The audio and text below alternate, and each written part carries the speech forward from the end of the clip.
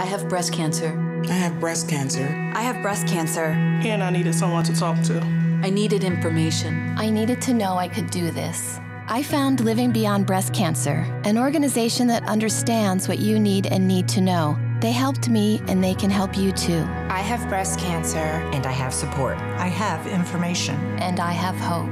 I have Living Beyond Breast Cancer. Find five ways we can help you at fiveways.lbbc.org.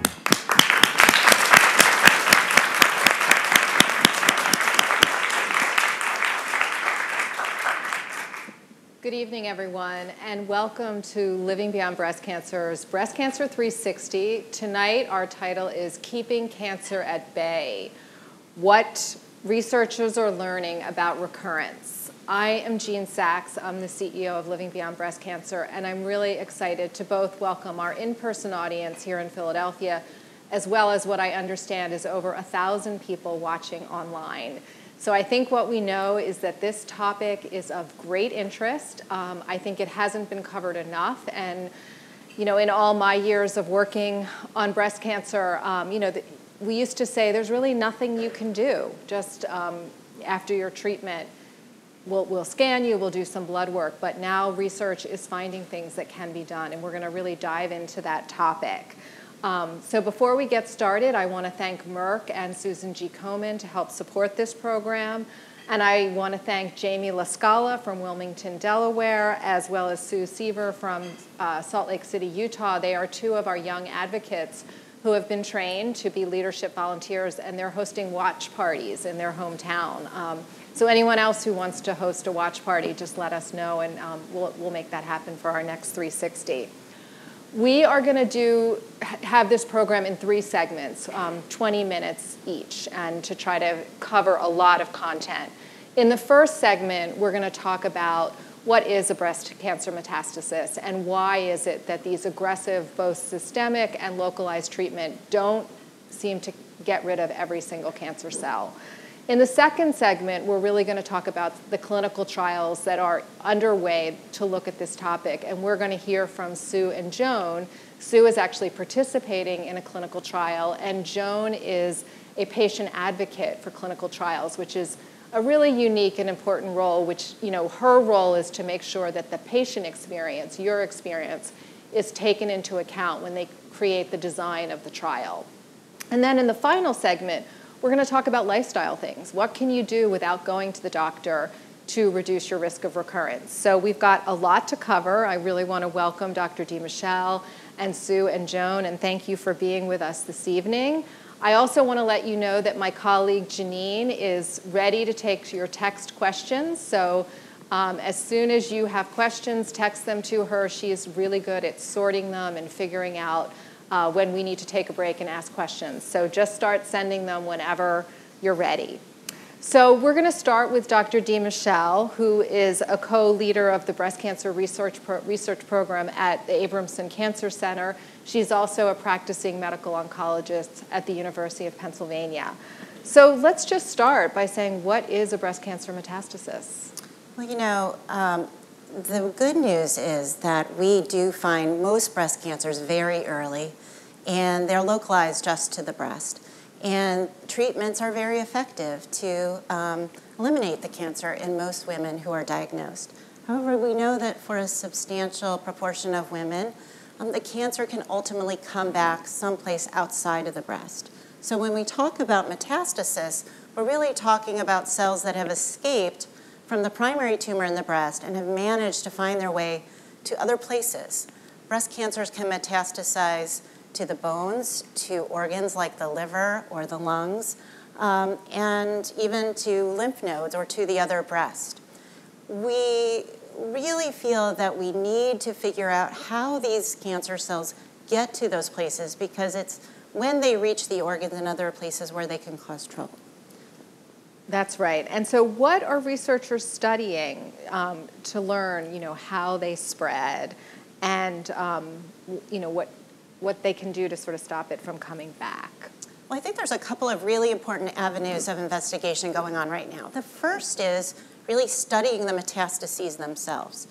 So increasingly, we're actually obtaining biopsies of the metastatic lesions from the places where they have gone, from you know, a liver biopsy, a lung biopsy, and looking at that, uh, that metastasis, those cancer cells under the microscope, really doing a deep dive into the genes that are turned on, the pathways that are activated, and actually going back and comparing those cancers to the patient's original cancer in the breast. And by looking at how those two are different, we can understand what the cancer needed to do to adapt and evade the original treatment and manage to get to another spot. So there are many studies going on around the world, really, um, to try to understand the biology of metastatic disease. And that's also going to help us find new treatments because if we really understand what's allowed those cancer cells to metastasize, it also can tell us what's enabled them to stay alive in their location and be able to find even better treatments for metastatic disease. So we think that's going to be really a game changer in terms of being able to treat metastatic disease better.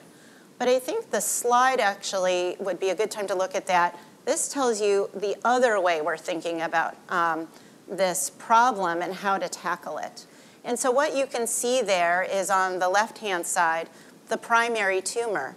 And that's a cluster of cells and we know that there is what's called heterogeneity in those cells, meaning not every cell is the same. And buried within that tumor are these little seeds, cells that are different than the rest of the cells in the tumor, cells that have this capacity to leave the tumor. And we think that they go into the bloodstream, they circulate, those are called circulating tumor cells or CTCs, you've probably heard about those. We also think they then actually find a sanctuary, a safe place, where they then can actually go dormant. So it's sort of like thinking about this cell that's been dividing now is reaching um, most commonly the bone marrow. And when it reaches the bone marrow, it powers down. It stops dividing, it goes to sleep, and it can actually stay there in this sleeping state um, for a long period of time. And this is why, for some women, recurrences happen 5, 10, even 20 years later, because those cells have been there, they just haven't been causing any trouble. And we also know that for some women, those cells never cause a problem, that they may always be there, and for whatever reason, they don't wake up, or the immune system can take care of them. But unfortunately, that isn't the case for everyone. And something, things that we're just now starting to understand, triggers will reawaken the cells, reactivate them, turn them back on, power them back up, and that's when they then leave the marrow, go back into the bloodstream, and find their way to another place. So we really need to understand what allows the cells to leave the tumor, what mechanisms they use to actually find their way to the marrow, how they stay asleep, what wakes them up, and how they home their way to other places. So I'm sure for anyone living with a history of breast cancer, it's it's kind of scary to think that these cells are there. Do we think they've always been there? Do we think they're they get there later and they go to sleep and then what we don't know is what wakes them up or I mean, I think that um, you know when I talk to women who have breast cancer, even a stage one or stage two breast cancer, we always talk about this risk, this risk of the cancer coming back. Um, and so I know that every woman who's been diagnosed with breast cancer lives with worry about, well, is it going to come back? And up to this point, unfortunately, all we've been able to do is watch and wait. So I think actually having a better understanding and knowledge about what might be happening and then developing the tools that'll enable us to actually find the cells is really empowering. Mm-hmm. And so to have a tool that could enable us, or a test that could enable us to find the cell, means that we could screen patients, and that you could come in and have a test. And if you don't have the cells, well, what a huge relief, right? Finally, we could say, you're okay.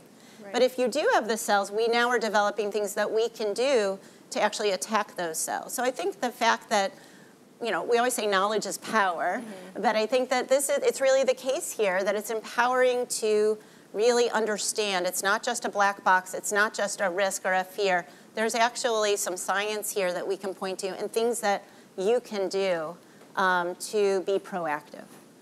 So if someone does find out that they have dormant tumor cells, does that mean they have metastatic breast cancer?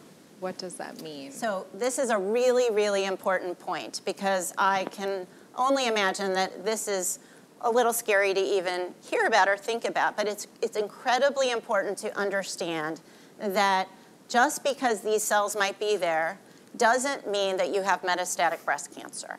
That these cells may never hurt you. They may sit there doing nothing. They may ultimately be um, controlled by your immune system or other things that your body can do to eliminate them, or maybe they just can't last.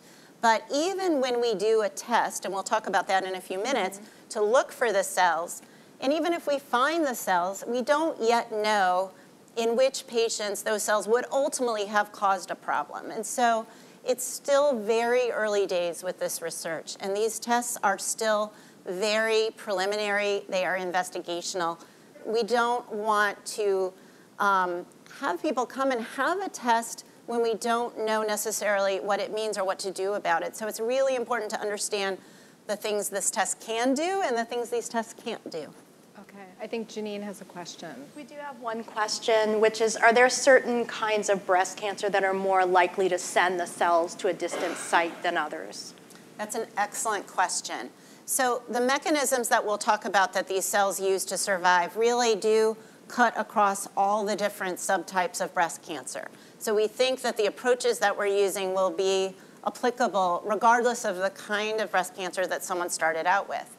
However, we know that the likelihood of recurrence does differ across different subtypes. And partly that's because we have therapies that can get into the bloodstream and then get to the marrow and get to these cells with certain types of breast cancer. So for example, if you have estrogen receptor positive breast cancer, it's becoming increasingly clear that taking anti-estrogen treatments may be helping these cells stay asleep, which might explain why our data is showing that the longer and longer you stay on these treatments, the better the outcomes are, the less likely it is for the cancer to come back. So there are treatments that can modify the likelihood of the cancer cells coming back depending on the subtype. But we do think that all cancers use some very similar mechanisms. Okay. Do you have another question? Well, um, several people are asking what are the tools used to find the disseminated tumor cells and circulating tumor cells? Okay, great. So what are these tools? So when we talk about disseminated tumor cells, or DTCs, those are the cells that we find in the marrow and the bone marrow seems to be a very welcoming place for these cells for whatever reason. So we can do a test where we take a sample of the liquid part of the bone marrow. It does require a bone marrow biopsy. And we can then take that to the laboratory and we can perform a test that helps us pull out all of those blood cells that are also there and actually identify cells, and we can see them under the microscope that look like tumor cells. So that's one tool, is to use a test for DTCs. Another type of test is actually using the ability to find these cells in the bloodstream. That's a test for circulating tumor cells, or CTCs, and you've probably heard about some of these tests because they are on the market. So there's a test by CellSearch, for example, that's for CTCs. The third way that we might be able to find these cells is not by looking for the cells themselves, but for their DNA. And that means looking for fragments of DNA that are in the bloodstream that we know came from the tumor. And that is um, a test that's called cell-free DNA. And there are also several companies on the market that can um, identify cell-free DNA in the blood. But I do caution to say that many of these tests, while they are um, useful and they do identify some patients who have the cells, it's still not clear who should have the tests and what we should do if we find the cells. And so that's why the research is so important. And I think actually it's very important to have the testing done in a research setting rather than simply going to your doctor and saying, I want you to send this test off because your doctor might not yet know what to do with those results. We haven't yet figured out what's the right strategy for taking care of those cells. So seeking out a trial or a study where researchers are really learning from this testing and can help you make sense of what this testing means is very, very important. So you're not recommending that people go and get these tests without being in a trial? I feel strongly that that is, um, you know, not the best way to go because, again, I think yes, knowledge is power, but getting um, information from a test when you don't, when you or your doctor don't necessarily know how to interpret it or how to react to it can actually increase your anxiety, right? Or to make you feel like, well, now I know something that I wish I, I didn't know. So we want to be able to utilize these tools in a really safe and thoughtful environment where we're going to partner together to understand what it all means. Okay, Janine? So we have a couple more questions about the difference between um, the difference between uh, a disseminating tumor cell and a metastasis. So one question is, um, if your pathology shows that you have DCIS, is that the same as having a dormant cell? And so just want to be that? really clear that we, we don't think that we find these dormant cells in the breast itself. So DCIS is a condition of cells that are abnormal just inside the ducts of the breast. So that's not a dormant cell. Even if you have a biopsy that shows invasive breast cancer in the breast, that's not a dormant cell. Dormant cells are asleep. They're not dividing. They're just sitting there being very quiet. Cancer cells, on the other hand, that are active or metastasizing, they're dividing they're growing, they're multiplying. That's a very different situation. So when we're doing mammograms, we're looking for actively dividing cancer cells. When we do biopsies, we're testing tumors. These are not dormant cells. It's really these sleeping cells that we're looking for now in the blood and the bone marrow. Very different. Okay. Janine, did you have a second? Yes. Does insurance cover the cost of DTC tests or CTC tests? So it's a controversial issue, um, but I would say that for the most part, some insurance companies do, some don't. And part of the reason is that um, I think that increasingly um, the coverage is based on really having evidence that we know how much having these cells might be harmful. The data that we have so far about disseminated tumor cells in the bone marrow suggests that women who have these cells have anywhere from a two-fold higher risk of a recurrence to a nine-fold higher risk of recurrence. But having the cells in the marrow is not a 100% chance of getting a recurrence. And similarly, even if you have a negative test, it doesn't mean that the cancer can't still come back. Maybe the test was a false negative. So until the tests are better, most insurance companies are not necessarily going to cover them. But some do for the commercial tests that are out there. It's also the case that some tests, uh, for example, the cell-free DNA tests, um, are useful in other kinds of cancer, so they get approved for that reason, and then patients might start to use them for breast cancer. We'd really like to know how useful they are here before we start ordering them. But under the clinical trial, everything would be covered, right? So the good thing about being a participant in a clinical trial is that the things that we do that are research-based, like the testing for the cells, is covered. You don't have to worry about whether or not your insurance would cover this kind of a test.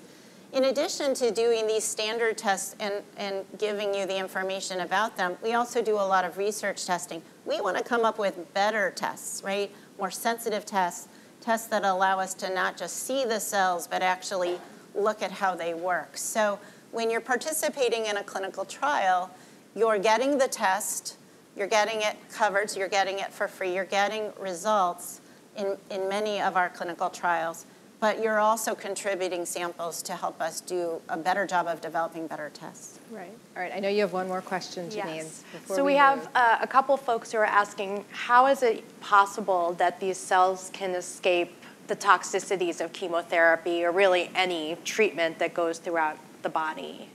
You know, that's the really the sixty-four thousand dollar question right there. There's many, many, many. I think it's like the multi-million dollar right, question. who are trying to understand this. There are a couple of things that we do know. So we know about a few processes and pathways that seem to be important. One of these is something called autophagy. So one of the ways that we get cancer cells to die is by cutting off their food supply, um, by you know using drugs that that cause them to not be able to get the energy that they need. But cells that have become dormant, cells that have entered this phase, um, have learned how to survive without needing any external energy sources. That's called autophagy. Actually, the Nobel Prize in Medicine was given to the person who discovered that this very year. Um, but this is increasingly being recognized in the field of oncology as a way that cancer cells can um, sur- support themselves, uh, even when the, they're getting this onslaught of chemotherapy. And we have drugs now that can actually interrupt that, to, can prevent the cancer cells from being able to use this mechanism to support themselves. We also know that there's a pathway called mTOR, and I think about the mTOR pathway as kind of like the electrical circuit of the cell. That this is a, a way in which the cancer cell can send messages um, around, and this also enables the cancer cell to, um, to go into this dormant state. And this uh, circuitry is really important to maintaining the viability of the cell. And this is something else that we, again, have drugs that can actually interrupt this and basically turn off the electrical circuitry. The third process is um, something called c-Met, and c-Met is another important pathway that we think about in these cells as sort of restarting the engine. So after the cells have been asleep for a long time, for reasons that we don't yet understand, they can start to activate this pathway, and that sort of turns the engine of the cell back on, and the cell starts to divide and grow again. And we've learned about these really from the laboratory work that's been done by many researchers, including my, my colleague Louis Chodosh, who have studied this process in mice. And so, unfortunately, we, we have to give the mice cancers to learn this, but when we do that, when we implant the tumors in the mice, we can actually label the tumors with a little um, marker that glows. And then we do everything in terms of treating the mice that we would do in the clinic. And the cancer cells all start to melt and, and go away. But these little seeds are left behind. And we can actually see what happens to those cells in the mice. And by learning these lessons from the mice, we then can apply these um, technologies to be able to try to find the cancer cells in patients. Great, and thanks for explaining sort of what what's happening in the lab and how that helps us figure out what to do on people. I think it's important. So I think Janine, I can move to the next section. I knew our audience, I knew our audience was going to have a lot of questions, so we'll we'll try to balance that. So we've talked a lot about you know what makes a, a cancer cell metastasize and why do some cancer cells go to sleep and why do they wake up. Um, but now we really want to turn the discussion to someone who's had early stage breast cancer and is considering doing these trials. And we are fortunate to have someone here with us today who has done this. So I really want to turn to Sue and Joan for a few minutes. Um, so, Sue, let's just start with you, and if you can just tell us a little bit about why you're with us tonight. Okay. Um, I, was, I was diagnosed with breast cancer, and it was early stage breast cancer in October of 2014. I had a regular uh, mammogram, and um, it was my regularly scheduled mammogram, and this very tiny little cancer tumor showed up on the on the mammogram, and it ended up that it was stage one. Uh, my surgeon at the time said, "You are a a, a poster child for mammograms because." Um, this didn't show up with any other you know, manipulation or anything like that. So um, it was stage one. My uh, lymph nodes were clear, but I had an oncotype test. And the oncotype test came back at a score of 48. And that's a high score, which means that it's a very active tumor. So when I saw Dr. DeMichele, then um, she said, Well, you will be doing chemotherapy you will be doing radiation, and then um, because it's estrogen positive, you'll be on aromatase inhibitor. So I did all of those things, and I've, you know, that's been two years you know, along the road. And then in um, January of this year, I saw Dr. D- uh, Michelle on one of my regular appointments. And um, she mentioned, and she explained to me exactly what she just explained to all of you that there's these dormant cells, and if you've got an active, you know, tumor, that sometimes those dormant cells can migrate to other parts of the body and then could eventually wake up and lead to metastatic breast cancer. And she said, I have a, um, I have, first of all, a study, which was called SURMOUNT, uh, to determine if you do, in fact, have these, these dormant cells. And then if you do, then I have a trial for you, and we will try some of these medications to try and destroy those dormant cells. So I did the study, SURMOUNT, and I did have the dormant cells. And um, then I did the, the, uh, the, the, trial. And so I'm here because I did do a trial for this, and uh, I'm glad I did. So tell us what it was like to have the bone marrow biopsy. That's that like? something that there's always a lot of anxiety over. Mm-hmm. Um, and I was very intimidated when I went in the first time. And uh, the nurse explained to me what was going to happen. Um, very sterile atmosphere. Um, basically, what she did is she numbed me up a lot. Mm-hmm. Um, and that was the surface type of thing, explaining to me that she was going to insert a needle that was going to go into my bone marrow. And she said, yes, there will be discomfort, but it will be five seconds. And, um, and so, I mean, she was great. She, she did a wonderful job. She, I was numb. I did not feel the needle. The only thing I felt was the aspiration of the bone marrow. And it's uncomfortable, but um, frankly, if you're, a, if you're a breast cancer survivor, you've been through a lot of things. Um, it, to me, it was five seconds of discomfort, and it didn't, didn't bother me. Okay. And much. Then, and Dr. DeMichele, is that typical, or what? I mean, the, it sounds scary. I know it sounds very scary. These, this is a procedure that we've been actually using for decades um, for patients who have leukemia and other kind of blood cancers. Um, I wish that there was a test that was so good that we didn't have to look in the bone marrow. We could actually look in the blood. But we, the tests aren't good enough to find it in the blood yet. So the marrow is where we need to go. And we've been studying what the patient's experience is, getting the bone marrow and ways in which we can try to make that more comfortable. I would say that Sue's experience is fairly typical, um, that um, there's a lot of trepidation, but that once patients do it, they realize it wasn't as bad as they thought it would be. I've heard patients tell me it's sort of like having dental work. It's really unpleasant at the time, yeah. but the next day, like you're okay. It's you know, it varies. Some patients feel more pain than others. Some people will have some bruising.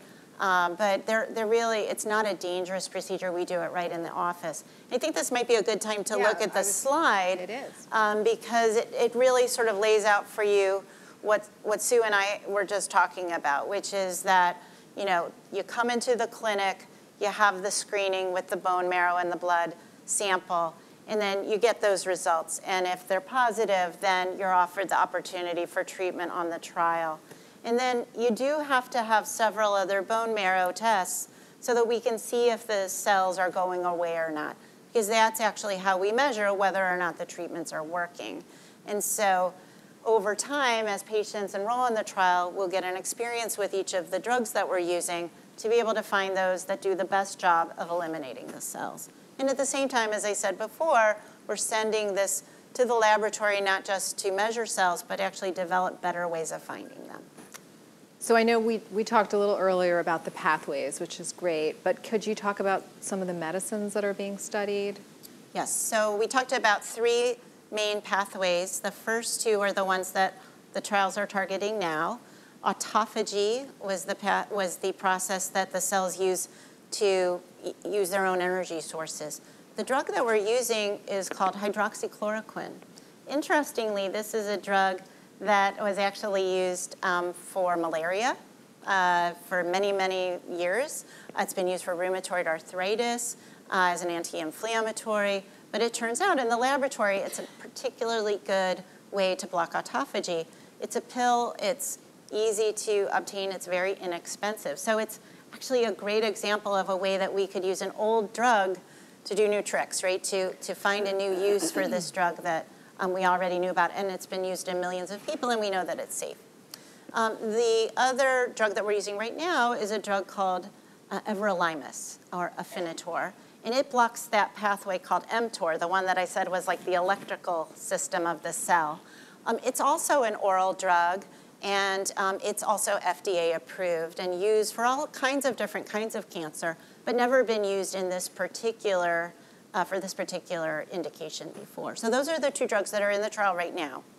The trial that's happening right now is happening just at Penn, but there will be another trial coming in the springtime that will be opening across the country as part of the Translational Breast Cancer Research Consortium, the TBCRC, that will also use hydroxychloroquine and a different drug to block mTOR called gedatolisib. So, you know, we're, we're testing different drugs, but those are the main ones right now. Okay, and I think you, you really did talk a little bit about this, but maybe you can make it even clearer. Like, who can take part in these trials? What are, what are, the, what are the main factors? Well, so, you know, I think that it's very important that we start with the testing in the patients who we already know are at high risk. And so our trials are primarily focused on women who had positive lymph nodes or who had triple negative breast cancer or who took neoadjuvant preoperative chemotherapy and still had cancer at the time of surgery. That's called residual disease. Um, so those are the main criteria. And then, of course, situations like Sue's where the oncotype was very high. So these are um, factors that you already know and have talked to your doctor about do predict risk of the cancer coming back. So right now, those are the patients. And in general, we do need to limit this to the first few years after the diagnosis. We know that, you know, most of the risk will go away if you make it to two years and then to five years. So we are really looking within that first two to five year uh, time period. And is that of finishing your primary treatment, That's but right. not counting hormonal therapy then? Correct. So it's really important that we don't do anything to interrupt the standard therapy like Herceptin or chemotherapy or radiation. We want to make sure everyone's gotten those and that nothing that you do as part of the trial would in any way diminish that or make it hard to complete that. Okay. Can you help the audience understand how is this different than what women are doing who are taking hormonal therapy, which is really also prevention, right? Yes. is this different? So you've all heard the term adjuvant therapy, and those are drugs that, or any kind of treatment that we give after the cancer's already been removed. So adjuvant chemotherapies, we give, you know, you'll take four cycles or eight cycles of chemotherapy. Adjuvant radiation is radiating the breast or radiating the chest after the cancer's been removed. The difference between those treatments and this one is that we are giving those treatments to everyone based on risk. We don't have a test to help us decide who we should be giving the treatment to and who not to give it to. We just give it to everyone at risk for a certain amount of time. These treatments have really improved survival from breast cancer tremendously, and they're very, very important. I think what we now feel like we need to do to close the gap for those remaining women who, even despite doing all of this, still have the cancer come back is really find the women who have the cells rather than continuing to treat everyone, even the patients who don't need it. We want to really focus our attention now on the women who do need it. Okay. Janine, do you have a question? Are there any age restrictions on eligibility for the trial? No, there are no age restrictions. So, and one other question that's come up from a couple different people is how accurate are the disseminating tumor cell tests? Are, is it possible to have these, um, these cells in other areas besides the bone marrow? So those are two excellent questions. So part of our research is to try to understand how accurate the test is. There, the studies where I quoted you the risk, um, that the risk increase if you have the cells, those are based on studies that were done 10 to 15 years ago um, with the very same test that we're using now. So this is a test that's been around for a long time. However, like many tests, it it's not using the latest technology, and so it's going to miss some patients who have the cells, Uh, and, um, and so there's also a threshold. You have to have a certain number of cells for us to be able to find them. So the test isn't perfect. We know that. When we do find them, we feel fairly confident that we are finding something real, but it's possible that we could miss them. And this is why we're all, not just Penn, but many other places, working on finding better tests. Okay, great. Um, so I want to I want to bring Joan into this discussion. You've been waiting so patiently. Um, but Joan, I know you're a patient advocate for clinical trials. So so tell us what why you're here and what you want to share with us. Um, I c- became involved as a member on Dr. DeMichele's uh, team in 2015 as a patient advocate um, to kind of bring the patient's perspective uh, to the table. I can give you a little brief um, background of my own uh, breast cancer history. I was diagnosed in 2003 with stage two breast cancer. I had seven positive lymph nodes, and I had uh, chemotherapy, uh, radiation, mastectomy, and then I kind of went along my, my merry way until um, very early in January of 2007, I was diagnosed with uh, metastatic uh, breast cancer. And I've been doing well, you know, since then. Um, I feel I have nothing to complain about, even though I feel like I'm always complaining. but in, in any case, I um, became involved with the team um, to bring the patient's perspective to the table. In, in this particular trial, um, we were very concerned about the, uh, the number of um, bone marrow aspirations and how the how patient could experience them and have um, discomfort. I think part of the bigger picture is that we help clinicians and scientists maybe understand what the barriers might be to, for patients to come into a clinical trial. So in this case, it was a procedure that we felt could be a problem. Other times it could be a lot of, uh, let's say, a lot of blood draws, scans, um, it can uh, affect patients uh, depending on, say, how close they live to the hospital where the research center is. So it could be a geographical problem.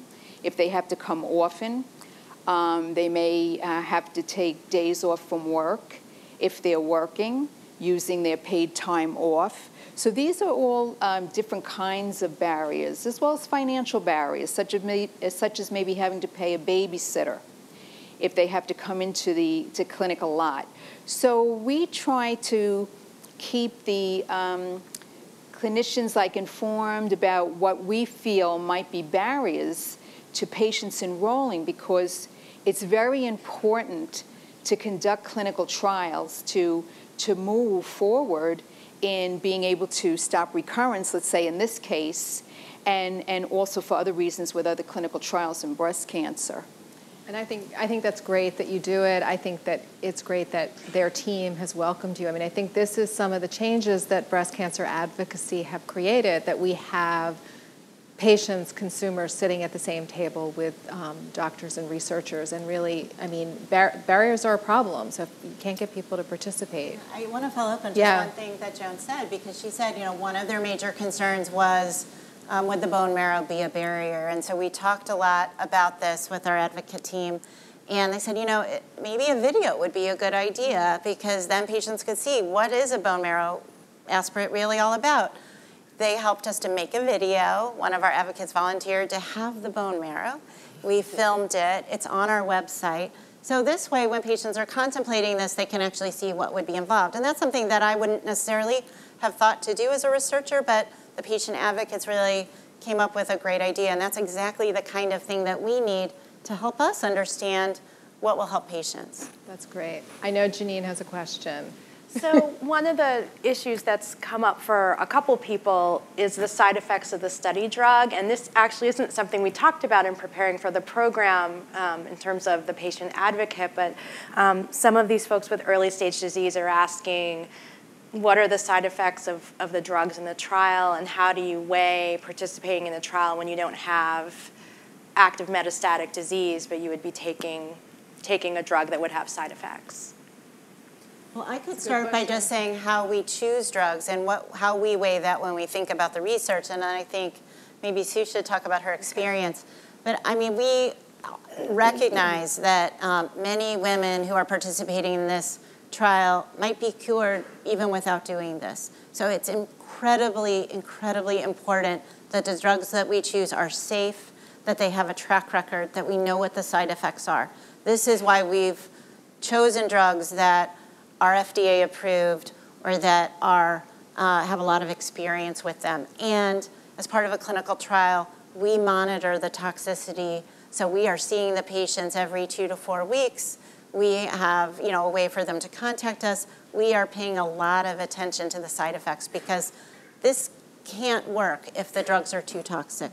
Um, it's, it, you know, it, it, and, and when, when we want to learn about whether a, a, uh, an approach can work, it has to be tolerable. So for this to be an effective strategy, not only does it have to be effective against these cells, but it has to be something that people can tolerate and go about their lives and not have long-lasting side effects. Go ahead, Um, Sue. There are side effects to the drugs because you're taking a very large amount of a drug that might normally be used for something else, but it's going to be used to try and kill cancer cells. Um, and when I, you know, from the very outset, Dr. DeMichele said, if you are having difficulty, and there's, there's also nurses um, that are in charge of the study, um, they give you their telephone number. Um, Dr. DeMichele gives you her telephone number. Um, and if you're having difficulties, then they expect you to call. And uh, that was really true throughout my entire cancer treatment. Um, if I was having difficulties, I was expected to call. They wanted to alleviate all the side effects, even when you're going through chemotherapy. Um, so um, I did have some side effects, um, and I made those telephone calls, and the nurses brainstormed with Dr. DeMichele, and they came back with some solutions, and they gave me some other things that I could take to alleviate the side, the side effects. And um, at one point, we decided to back off some of the dosage. So that, you know, it was not, was not horrible, you know. It was worthwhile. I would Okay. definitely do it. That's great. I, I And know. I think it's important also just to say this is how all clinical trials work. So, I mean, I, I'm glad you had a good experience with us, but I think this is this is how we do clinical trials wherever you would go. Is really this kind of a partnership and communication. Right, and very, very um, patient-centered. You're really focusing on the patient. Okay, Janine, go ahead. Before you can enroll in the clinical trial, do you have to be screened for metastatic disease? So for this particular trial, and for most trials like this, um, yes, we do work closely with the patient's doctor to say, you know, you need to go and have a checkup. You need to make sure that you're not having any symptoms that make your doctor suspicious about cancer. And if you are having any symptoms or concerns, that they do any testing. We don't do any specific testing ourselves as part of the trial. We rely on the patient's physician to do that before they come to us. Okay. I know we need to move to the next segment, but I, we haven't really talked at all about sort of the emotional impact of doing a trial like this. So I don't know if you wanted to say, or either one of you, a few words about what it might like, what it might like be for a woman who is considering doing this, um, and you know, being tested and maybe finding out something that. Right. Um, well, I should say, you know, even from the very beginning, um, I was not overly surprised when I was diagnosed, or shocked, I should say, when I was diagnosed with breast cancer. Um, and I always kind of try and believe that it's going to work out. And when I went through the process of the lumpectomy and then the, the chemotherapy and all of that, I always believed that I was going to be cured at each step. So when I did the surmount, I thought, oh, I'm, it, I'm not going to have those DTCs. It's not going to be a problem.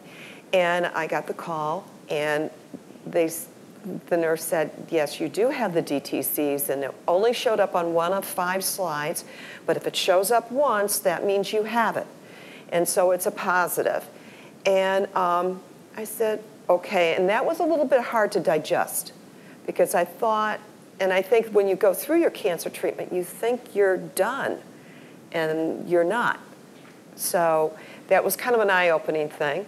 um, Dr. DeMichele actually called me that night after I spoke with the nurse, and we spoke, we talked for a good half hour where she really talked me through it and just, you know, explained to me what was go- what what the trial would be about and and and all of that. And so I entered the trial, and um, I entered the trial with the expectation that this is just one more step in my treatment. Okay. This is the next step in my treatment. This is what I have to do in order to make sure that my breast cancer doesn't come back somewhere else in my body. Right. And so I, I felt very, I felt proactive. I felt like I was in control. Um, I'm gonna, I don't want to cut Yeah. you off, but I know, I, I don't want to yeah. short shrift lifestyle changes because I think they're Right. important. But I also want to say thank you because not only are you hopefully helping yourself, but you're helping so many others, and all, both of you for working on clinical trials and how important that is. We're going to explore emotional issues more in depth at a webinar that we're doing on December 12th. So we understand the emotional impact and fear of recurrence are big. So go onto our website and please sign up for that webinar. But I do want to just spend the time we have left really talking about lifestyle changes because I know there's always a lot of questions about what food should I be eating and how much should I be exercising and should I be avoiding alcohol. Um, so first, are there any trials or research being done to really look at lifestyle in terms of preventing a metastases? So the, the good news is yes, there are clinical trials of lifestyle interventions, and these typically take the form of exercise trials or diet trials. Um, occasionally, some of the trials will use common over the counter types of things like aspirin. So there's a trial going on to look at whether aspirin can help reduce uh, recurrence. The, the big trial going on right now for exercise and physical activity is called Be Well, B W E L. You can find that online. That's going on around the country, and that's looking at whether doing a set amount of exercise uh, in a particular way will reduce the risk of recurrence. So I think that what's particularly challenging about this area is that it's always hard to tease apart what the um, impact of different things would be. So we want to study diet, but we can't have people just eat one food. You know, we can't have one group of patients eat spinach and another group of patients eat asparagus and nothing else and actually be able to do a clinical trial, right? Um, so we're trying to learn about these things in the context of your whole being, and that's challenging. Even looking at something like alcohol. Well, people who drink alcohol might have different diets than people who don't drink alcohol. They might have different levels of physical activity than people who don't drink alcohol. So, how do you tease apart whether it's the alcohol that's the problem or the other things? And that's really a challenging problem. And I, you know, I have training in epidemiology. I think that's sort of where I put my epidemiology hat on is to say, we just have to figure out how to do these trials. They're hard, but we need to do it. And we need to, we, I think there's an increasing recognition in the field that this has been underappreciated, and we now need to turn our attention to this rather than thinking about using a medicine or a pill to solve every problem. And so these trials have the support of the National Cancer Institute.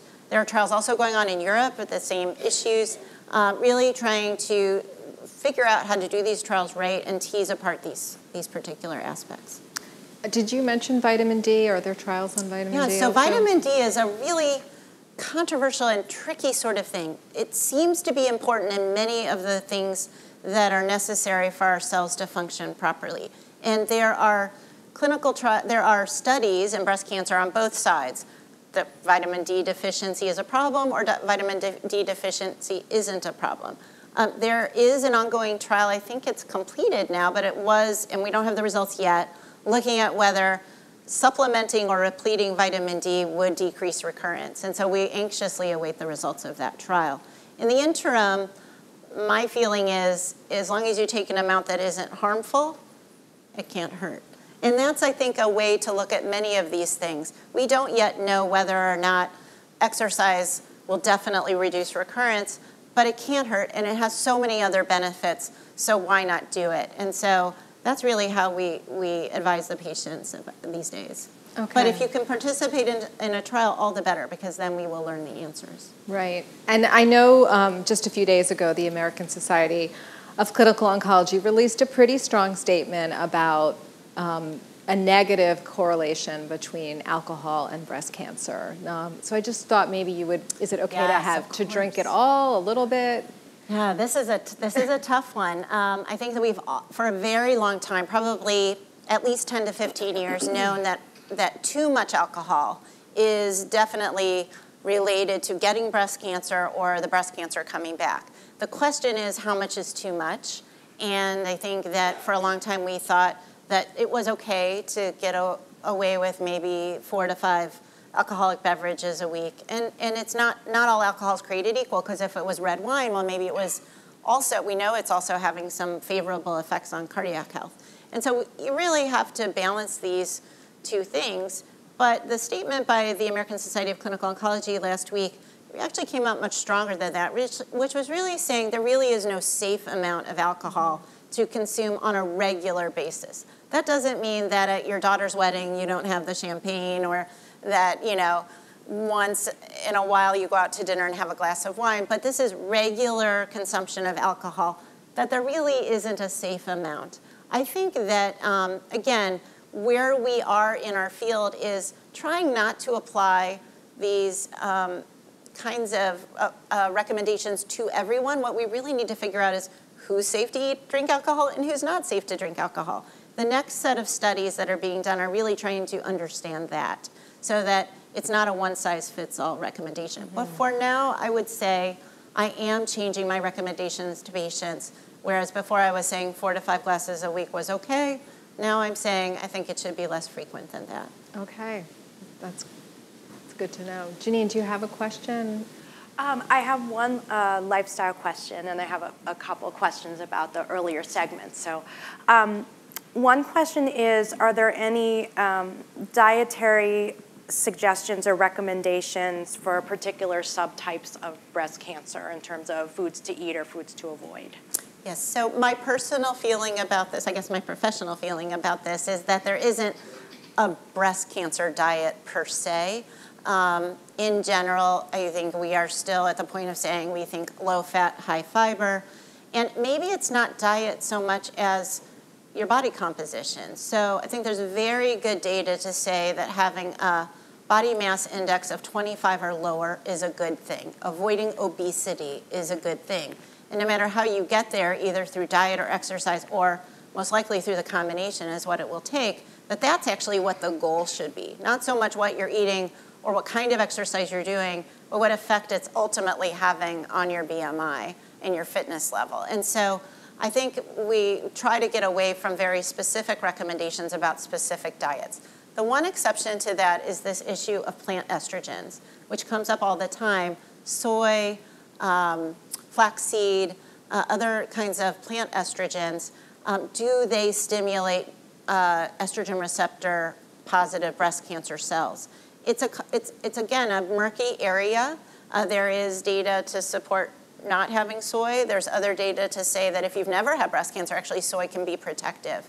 I think until we know more, in general, I recommend to patients to not consume large amounts of soy or substitute soy products for other products in their diet. But it, it can't get away from it because soy lecithin is a stabilizer in most processed foods, so you're gonna get exposed to it. But it's actually another good reason to try to stay away from the more processed foods and really move toward fresh and whole foods. Okay. So we're getting a lot of questions on our live stream about the difference between metastatic and early stage breast cancer. And specifically, if you have these dormant tumor cells, does that make you metastatic? We have some folks who are really confused about why you wouldn't, why you wouldn't treat if you knew you had the cells. Okay, let me be really clear about this. Early stage breast cancer is breast cancer that is only in the breast and the lymph nodes under the arm. That's early stage breast cancer, and that's a curable type of breast cancer, and that's how we, what we use our standard treatments to eliminate. At the other end of the spectrum is metastatic breast cancer. These are breast cancer cells that are in organs or bones, and they're actively growing and, and, and traveling. In the middle is a new and different kind of cell that we haven't really been talking about before. Those are the dormant cells. These are cells that aren't active, they're not dividing. So if you give things like chemotherapy that attack rapidly dividing cells, it's not going to work, hmm. number one. Number two, these cells might never hurt you. So we're trying to figure out which cells are harmful and which cells aren't harmful. So this is a very different thing. It is in between early stage disease that definitely needs aggressive treatment and metastatic stage four disease that definitely needs aggressive treatment. This is this gray area in between where we're just starting to understand what the treatments should be. But I think that it's safe to say that the treatments that will work for these cells in the middle are very different than the treatments you would use either for early stage disease or for metastatic disease. Does that help? That's really helpful. Okay. Do you think, I Do you think- so, yes. okay. Um, another question is how do people get involved in the trial who are interested in participating? And I think we have a slide that we can bring up with information about that. Yeah, so um, operators are standing by. No, I- I'm just kidding. um, but there is a there is a toll free number there on the screen, and as well as our website um, where you can uh, go and get more information. I think the important thing that I want to convey today is that this is not, although it seems like you know an urgent situation, this is not an emergency. Again, these cells are there, they're there for a long time, they're not growing, they're not dividing. So you don't have to do something about this tomorrow or next week. This is something you want to think about. You can contact us. We'll need to go through a you know pre-screening procedure. It could be that you don't have, even if you decide to have the testing, that you don't have it for a couple of months. It's something that you really want to think about and talk about with your doctor to make sure that you're ready for this, that you're in a good place where you feel like you can handle it, whatever the outcome might be. You could handle the idea of taking more treatment, but it's not an emergency. So take a deep breath. Don't, you know, you can you can think about it, but we are there when you're ready. I- so I think that's helpful, and I'm just wondering, because we have a very national audience watching um, via web stream, so do you feel like if they go to their doctor, they're going to understand this? Is it better for them to just call you? I mean, I'm trying to figure out what's their best next step. Yeah, I think that um, the website is a good first step because it has all the information about the trial. And I think that if they print that out and bring that to their doctor or ask their doctor to access the website if they don't have access to the internet, that that can start the conversation. And I talk to a lot of physicians around the country who call and ask about the trial. And if patients reach out to us to participate, I always contact their doctors as well. This has to be a partnership between our study team and the doctor, the, the, your regular doctor. We actually do have patients who've been coming from all over the country to be part of the trial, but it is a partnership with their doctor at home as well. Okay. I know Janine wants to ask one more question. So, last question. Um, some folks are asking, we've talked a lot about the potential benefits of the trial. What are the potential risks of this trial? Anytime you have a procedure or take a medication, there are risks. There are risks to um, a procedure. For example, a bone marrow aspirate, there can be bleeding at the site, there can be bruising, you can get an infection anytime you puncture the skin. These are, these are known risks. I think the bigger risks, though, really are about taking a medication. Um, as much as, as careful as we are to monitor side effects, some patients will have side effects. And although most of these side effects are not long lasting, there are very rare side effects to the drugs that can be permanent or long lasting. For example, there can be some effects on the retina um, that we monitor for. But anytime you take a drug, that's a possibility. So, again, I think that this is really taking a step into the future. This is something very new, it's early days. So there's still a lot that we don't know, and we we talk a lot about those risks. It's really important that women go into it knowing those. Do you want to add anything to that? Well, I was Sue? going to ask if either of you had closing Yeah. remarks. So, to be About risk. About risk. Um, I didn't see any risk. I, don't- I, I seriously didn't. I didn't think of, of there being any risk. Yes, I could go on a website and I could see what the side effects, side effects of the various medications were that I was taking. Um, and I could monitor that. Um, I didn't think about a risk as far as the bone marrow. Again, you've been through, I've been through cancer surgery. I've been through chemotherapy. I mean, What's, what's the, you know, I don't understand what the question would even be. There is no risk. Okay, Joan, do you want to add anything? Um, Well, as a patient advocate, we're always concerned about the side effects of different drugs, and particularly if you combine, you know, two, because then you have maybe two different types of side effects. And actually, some clinical trials propose combining three drugs. So we're very um, on alert about that and knowing what some of the side effects are and just how debilitating they can be. Some side effects are worse than others, and some side effects can really compromise your quality of life more than others. So, as patient advocate um, and other advocates, we try to kind of figure out what's what's happening in the side effects. Great. Well, I want to thank all three of you um, for spending time with us this evening. This is really important information. You did a great job explaining it, Dr. DeMichele. It's wonderful to have someone who's actually been through it and someone who's advocating for you know better trials. It's it's it's really been great. I want to thank everyone for participating. We will be emailing a link to our evaluation. We really hope you'll fill it out. That's how we learn how to do our programs better. You also will have a link if you want to sign up for our webinar about dealing with the fear of recurrence. And um, there is information on the trial on our website, so if you have more questions, you can find it there as well. Thank you. You did a great job.